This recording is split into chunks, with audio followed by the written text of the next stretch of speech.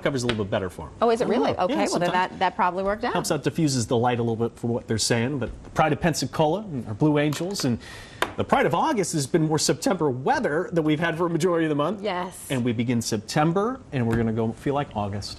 How we about had to that get it at some point, didn't Flipped we? around. Yeah, well, it's still summer technically. We're not going to hit fall, you know, until we. Uh, was it November, right? Yeah, that's that's when we're going to hit the fall season, right? So that's technically when you think of the seasons are changing, right? That's when we do it by the calendar, when most of us do it. Here are the temperatures at the time of the night, still upper 70s to around 80 degrees. These are temperatures much warmer than we've done previous nights because there's much higher humidity. Now, let's start with a different view. Washington, let's get a look at the nation's capital here.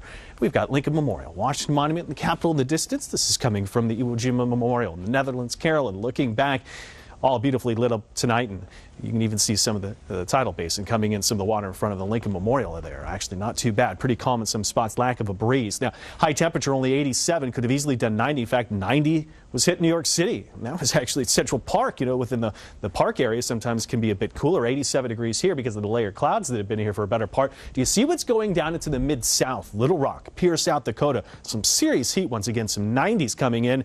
We'll tap into that eventually. What we've got here is a massive showers coming down, and that's what I'm tracking in a weak cold front. And it's just very weak. It's running into the heat and humidity that's being kind of churned up a little bit by a little bit of a spin. But really, it's about these light rain showers. Will we get some showers? Is the big thing. Will they even hold together as they move here? Well, such high humidity is here, so you don't need a whole lot for you to get that rain to fall. So we'll track the rain early tomorrow morning and then we'll watch the heat and humidity. It's the big picture over the next two days presented by Geico, starting off Monday going to Tuesday.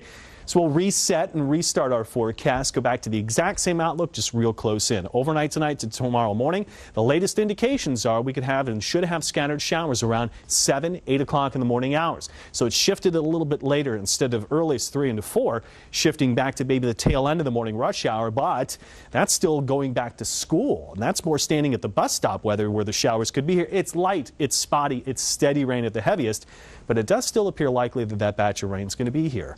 Low temperatures, you don't need to stay cool at the bus stops warm at the bus stops tomorrow morning. It's actually going to be about the humidity in 60s to 72. By afternoon, a widely isolated thunderstorm. It's warm. More cloud cover should hold temperatures kind of like today back a little bit under 90 degrees in many areas. And then a widely scattered storm is possible going in towards Tuesday. But that's the start of one of our hottest day, which is the start of September. Lower to mid 90s actual air temperatures. Factor humidity, it's the heat index, feels even hotter than that.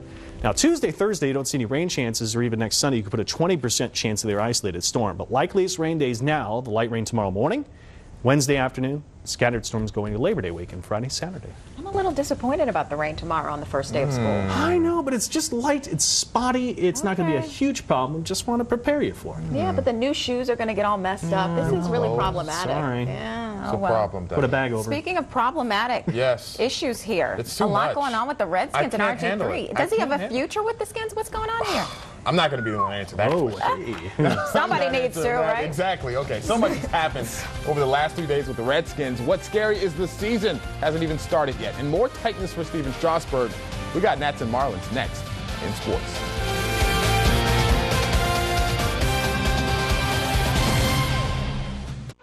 Introducing the Airbrush Beauty Breakthrough Luminous Air.